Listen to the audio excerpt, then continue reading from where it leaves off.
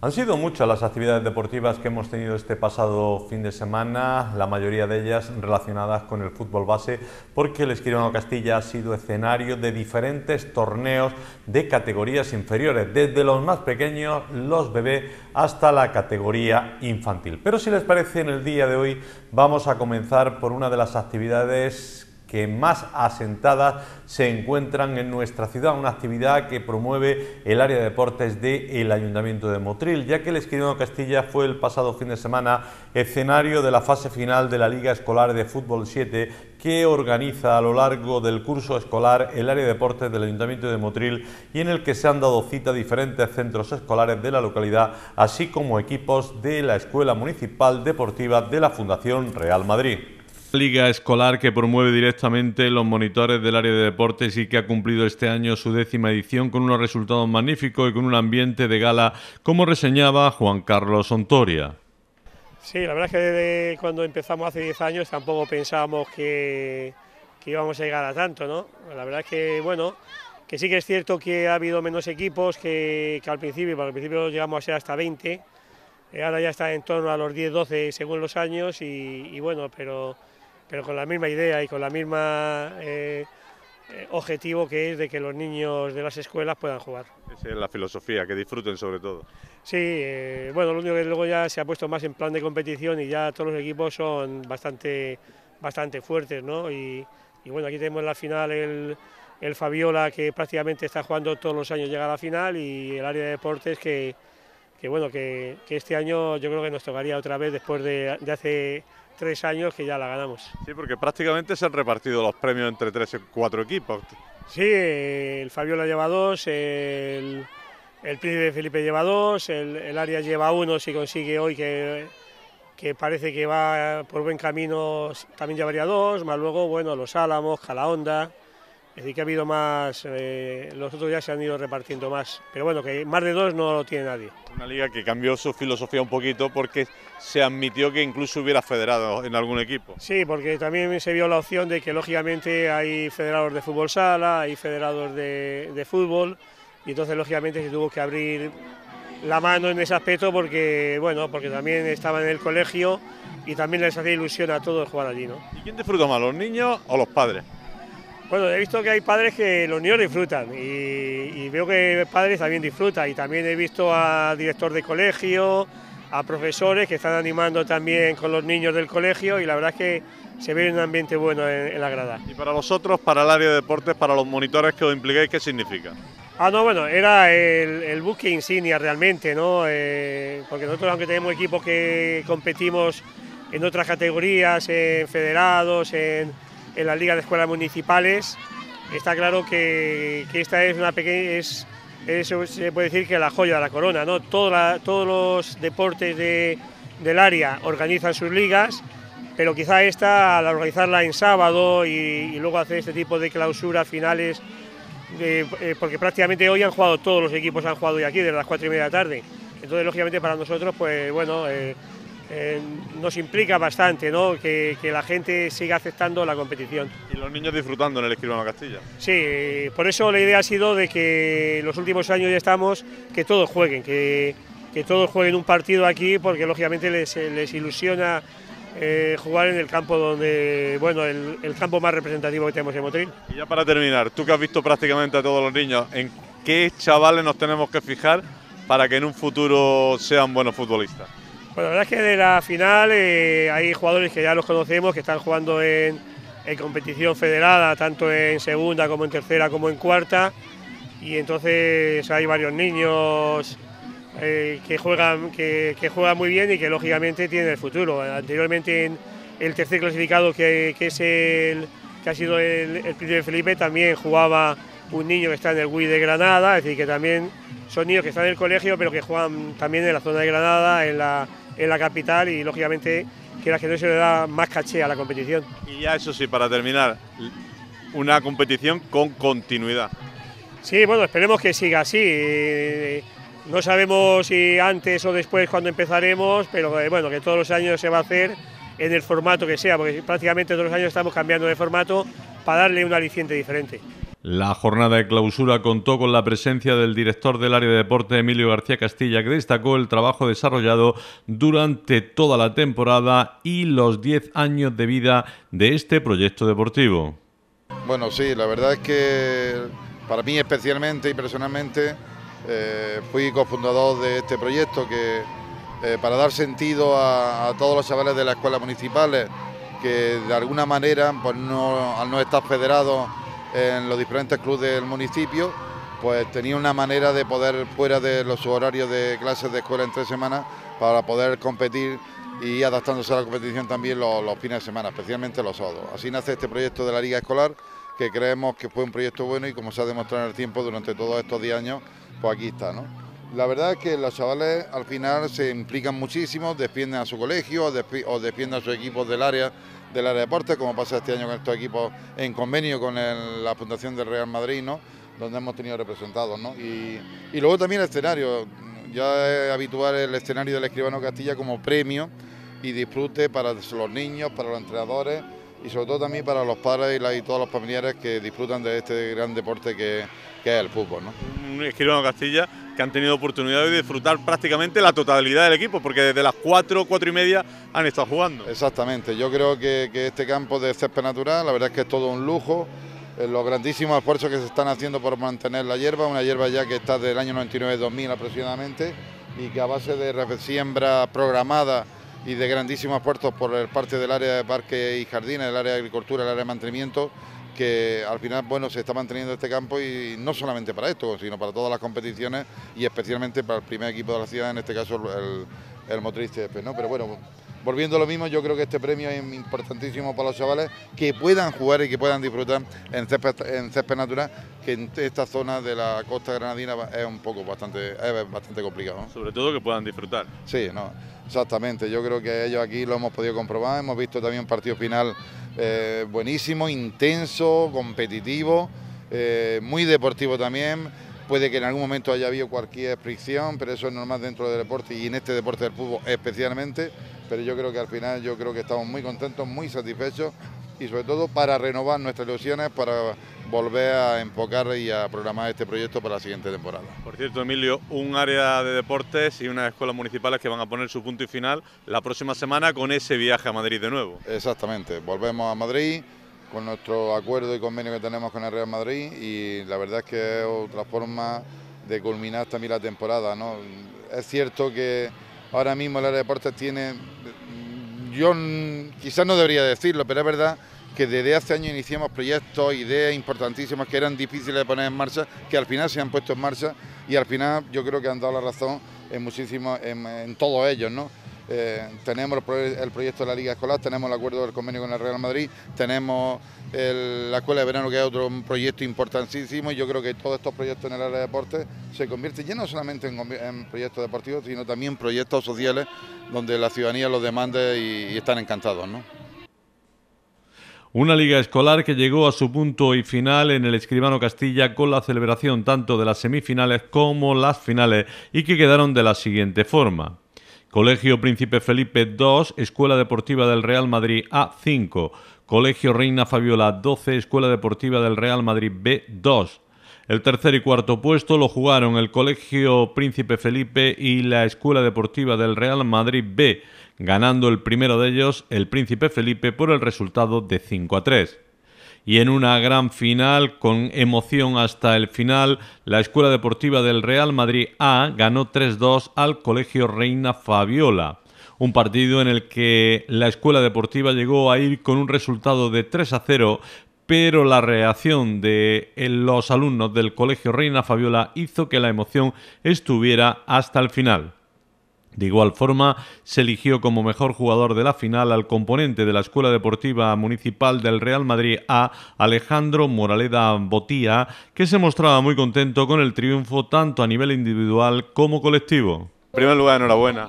Gracias. Oye, mejor jugador de la final. ¿Tan buen partido ha hecho? Bueno, sí, he tenido ocasiones. Algunas le he metido, algunas ha rozado el larguero, el palo. Pero bueno, he hecho buen partido y eso es lo que se trata.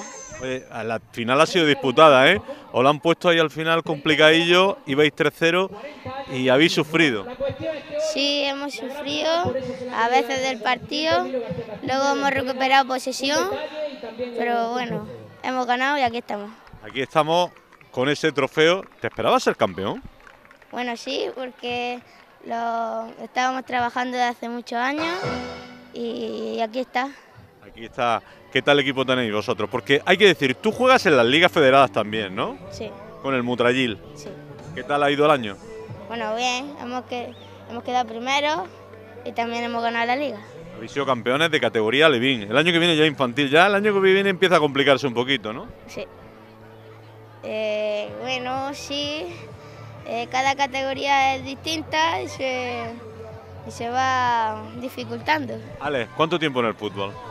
Eh, seis años. ¿Siempre en la escuela municipal? Sí. ¿Tú de dónde eres? Yo soy de, de aquí en Motril. De Motril. ¿Y en qué colegio estás? Virgen de la Cabeza. ¿Y cómo es que no has participado con el Virgen de la Cabeza? No sé, porque este club, la, la fundación me gustaba más y bueno, aquí estamos con esa copa. ¿Y los estudios qué tal? Bueno. ¿Bueno qué es? ¿Bien? ¿Mal? ¿Regular? Bien, hacen, van a salir notables. Eso, tú sabes que es lo importante ahora mismo, ¿no? ¿Y la semana que viene vas a Madrid o no? Mm, no. Lo digo porque la fundación va a Madrid la semana que viene. Ah, vale, sí. Me pasaré muy bien y ya está. Bueno, pues felicidades. Vale, gracias. Al término de las finales se procedió a la entrega de trofeos a los ganadores, así como a las distintas personas que han tenido oportunidad de colaborar en esta liga, entre ellos los árbitros que han participado y otras personas vinculadas con esta liga escolar.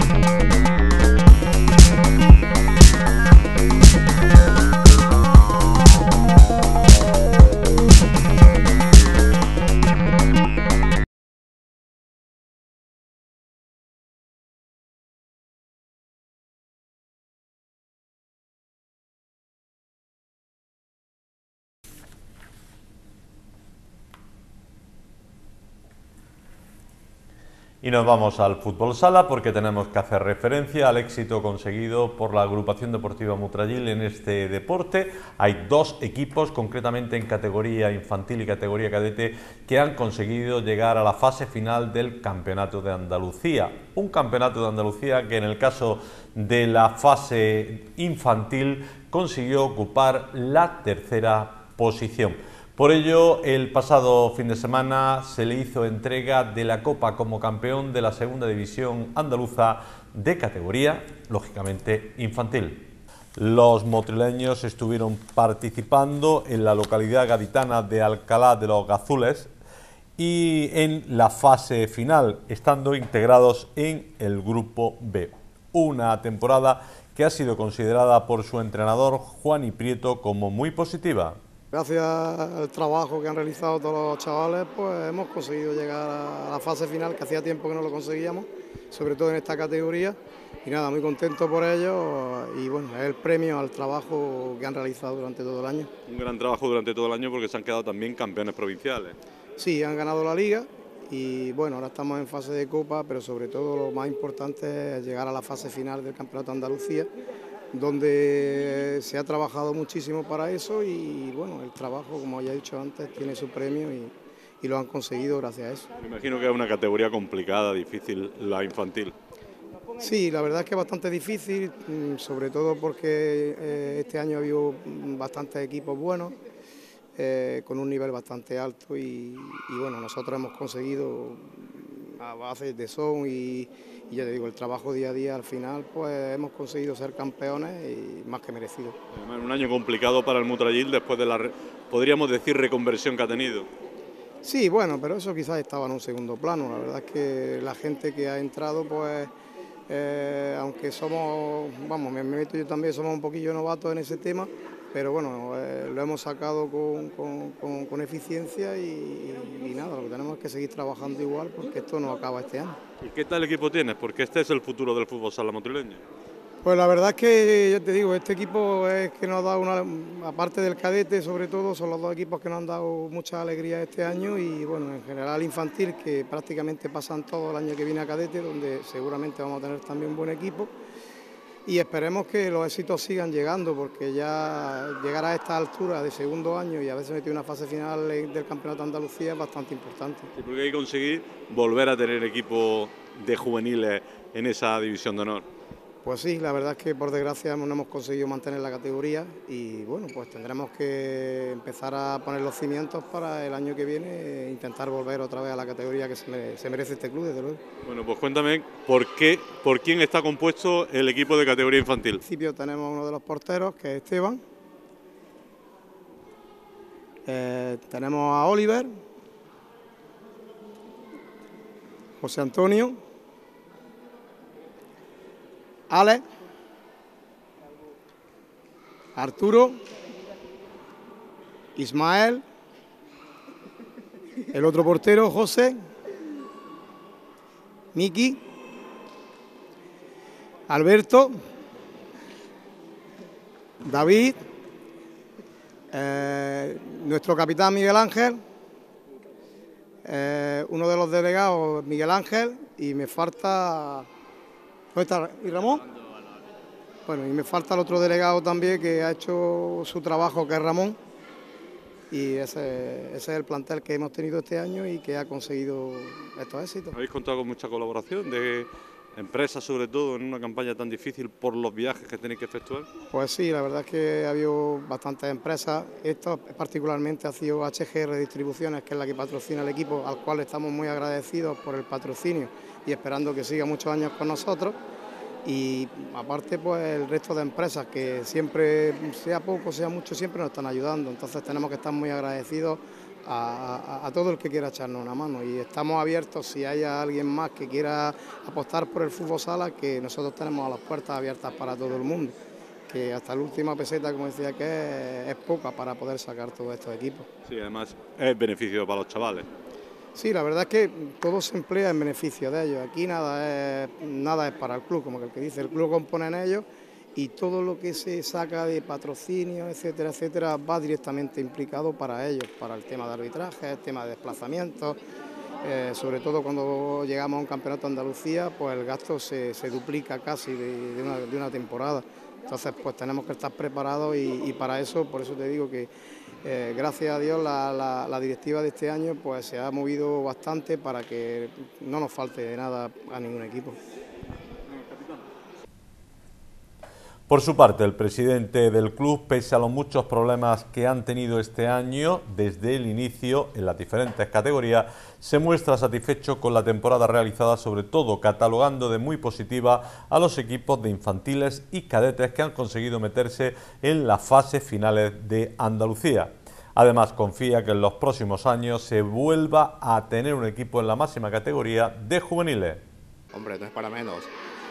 Eh, es el resultado de un sacrificio que por parte de los niños, mérito de ellos propio, del entrenador, que creo que ha sabido compaginar muy bien lo que es y transmitirles a la vez lo que es la, pasión, eh, el sacrificio, el esfuerzo para poder llegar a esto. El resultado creo que ha sido lo esperado por parte de todos ellos. Mm, estamos muy contentos con toda la plantilla, tanto de jugadores como de entrenadores, delegados, que han puesto todo su empeño eh, para poder llegar a Es un año difícil, ¿verdad? Mucho, muy, muy difícil. Pero mm, aunque no lleguemos en todas las categorías eh, a tener esta clase de que podamos llegar a finales o a ser campeones en todas nuestras categorías como nos gustaría hacer en todo nuestro club, pero con esto ya nosotros nos sentimos satisfechos y damos por mm, más que concertado el trabajo de todos nosotros. Y porque hay que entender que estos son el futuro del fútbol sala motrileño. Exactamente, exactamente. Entonces, pues, qué mejor, qué mejor eh, digamos, podemos decir que mejor resultado para nosotros y no podemos pedirle más, la verdad que sí. La lástima ha sido el equipo juvenil el descenso. Eso sí, la verdad que mm, damos, ha sido una lástima, mm, no nos lo esperábamos, pero bueno, eh, creo que el próximo año trataremos de corregir muchas cosas, eh, mejorará, creo que mejoraremos y yo creo que tendremos mejores resultados el próximo año. Y ya para terminar, lo que hace falta es que se vuelquen muchas más empresas con el fútbol sala. Eso sí, es muy, muy importante. Estamos muy agradecidos con los patrocinadores que tenemos, se han portado muy bien con nosotros este año.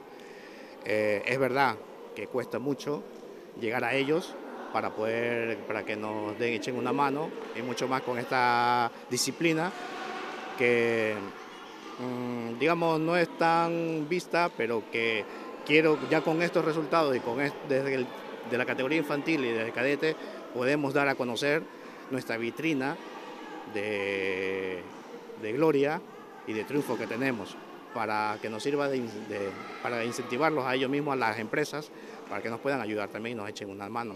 Bueno, pues felicidades. Muchas gracias. Por su parte, el capitán del equipo infantil resalta que la liga realizada este año ha sido muy buena. Y la verdad es que sí. La liga está un poco complicada, pero hemos sabido los últimos partidos afrontarlos muy bien y, al finalmente conseguirla. En el Campeonato de Andalucía hemos tenido mala suerte, pero hemos ido a divertirnos y nos lo hemos pasado muy bien. Eso iba a decir, que lo importante en ese tipo de competiciones es disfrutar y aprender.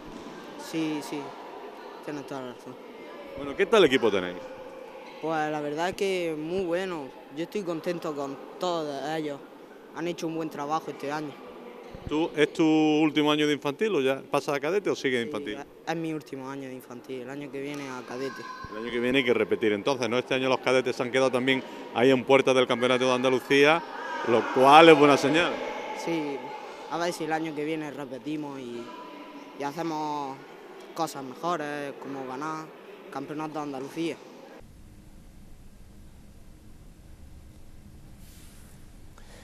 Y este pasado fin de semana también tenemos que reseñar que la costa tropical y en especial Motril ha sido punto de referencia para una nueva concentración de vehículos, en este caso de motos antigua.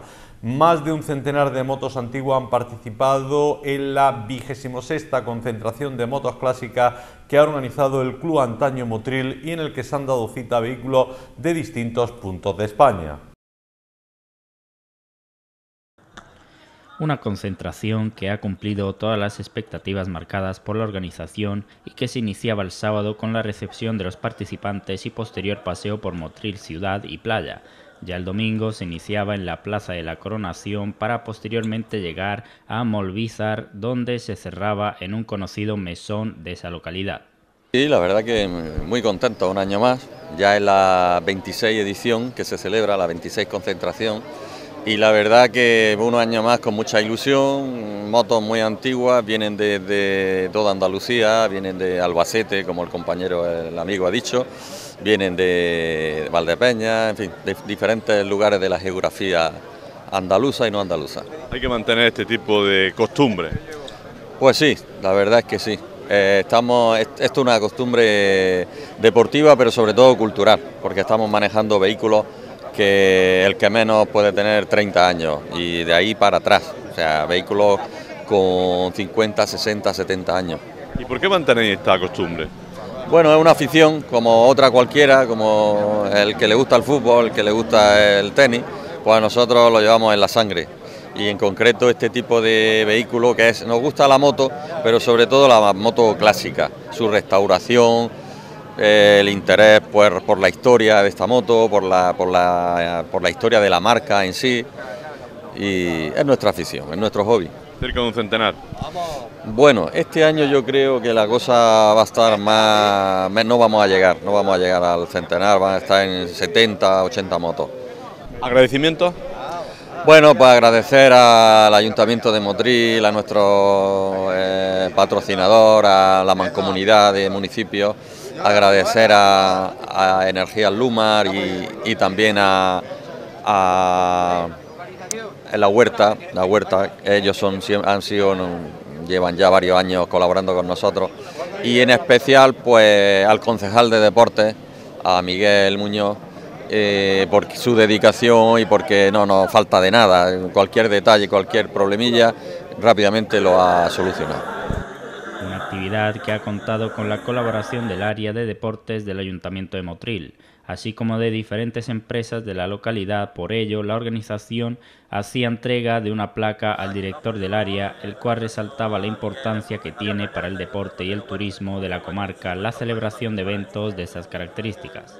Bueno, sí, es cierto que nosotros ya venimos colaborando tradicionalmente, el área de deportes del Ayuntamiento de Motril, con las diferentes organizaciones de concentraciones de motos clásicas y otro tipo de actividades similares y la verdad que para nosotros es un placer poder disfrutar hoy aquí la Plaza de la Coronación, bueno pues con este espectacular museo de, motos antiguas, de motos clásicas de prácticamente de todas las marcas, recordando obviamente pues todos aquellos tiempos. Ha sido sorprendente cómo podemos disfrutar de, la BMW, de la famosa BMW de la Segunda Guerra Mundial, la moto alemana y de otras tantas también motos que ahora se nos, se nos viene a la cabeza que ya parece que estaban, que estaban olvidadas.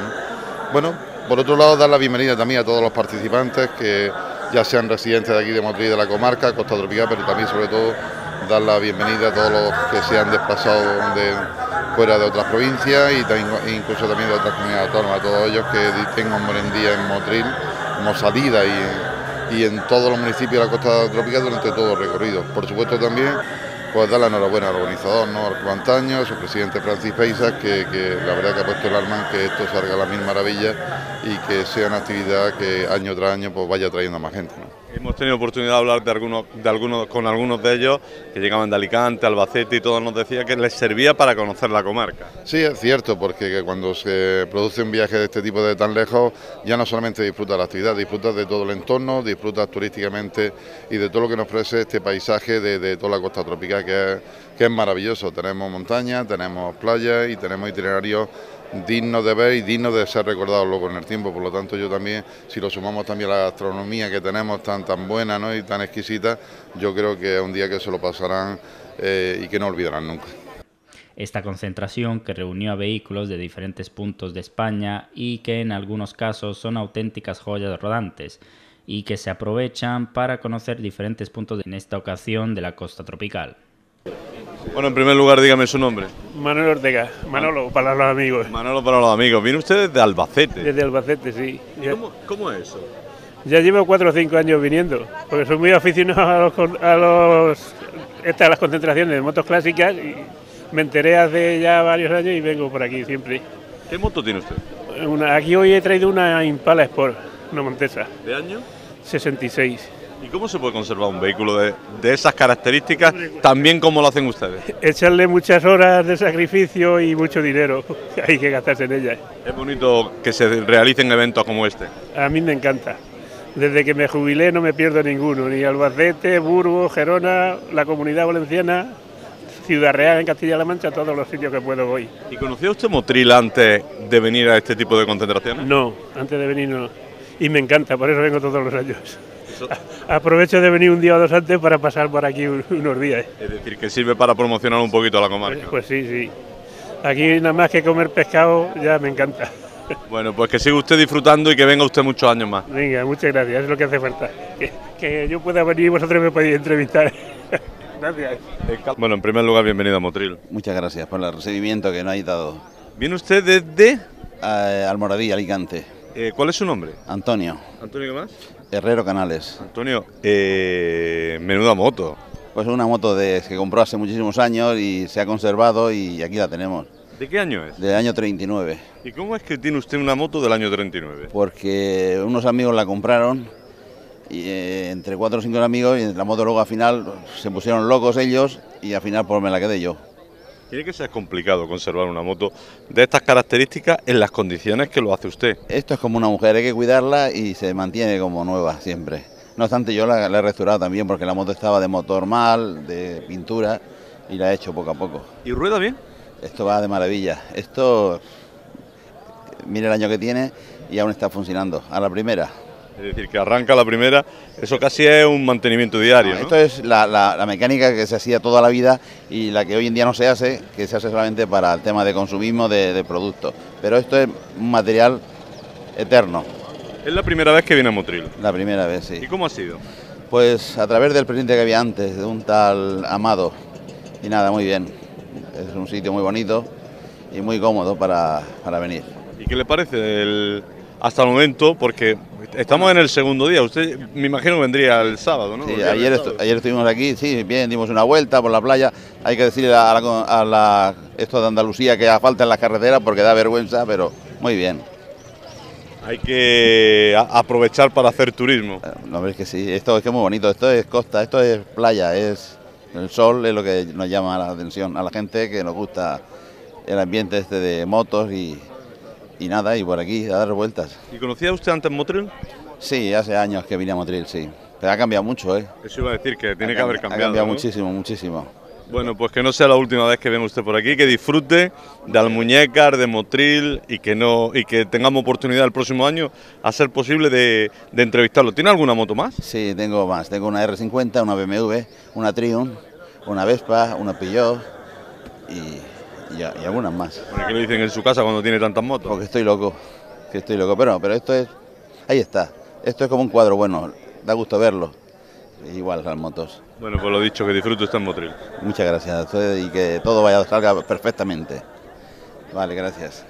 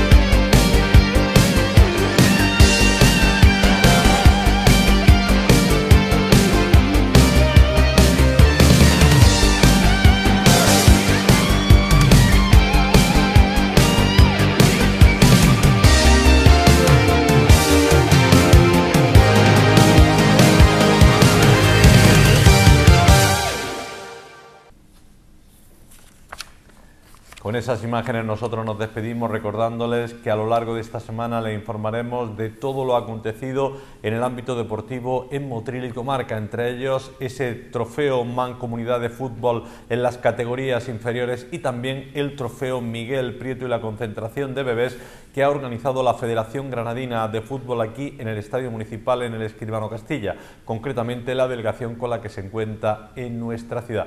Que ustedes lo pasen bien, que disfruten, les damos las gracias por estar un día más acompañándonos aquí a través de la Radio Televisión Municipal Motileña. Hasta luego.